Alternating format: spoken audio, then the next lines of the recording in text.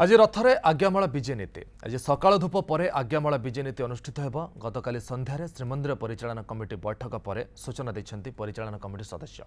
ବିନା ଭକ୍ତରେ ରଥଯାତ୍ରା କରିବାକୁ ରାଜ୍ୟ ସରକାରଙ୍କୁ ଅନୁରୋଧ କରିଛନ୍ତି ଶ୍ରୀମନ୍ଦିର ପରିଚାଳନା କମିଟି ବରିଷ୍ଠ ସଦସ୍ୟ। ଆଜ୍ଞାମାଳ ଆସିବା ପରେ ରଥ ସିଂହଦ୍ୱାରେ ନ ଗଡ଼ିଲେ ନୀତି ବନ୍ଦ ଆଶଙ୍କା ରହିଛି। ଏହାଦ୍ୱାରା ରଥଯାତ୍ରା ପ୍ରକ୍ରିୟା ପାଇଁ ନୀତିକାନ୍ତିରେ ବିଭ୍ରାଟ ହେବାର ଆଶଙ୍କା ମଧ୍ୟ ରହିଛି।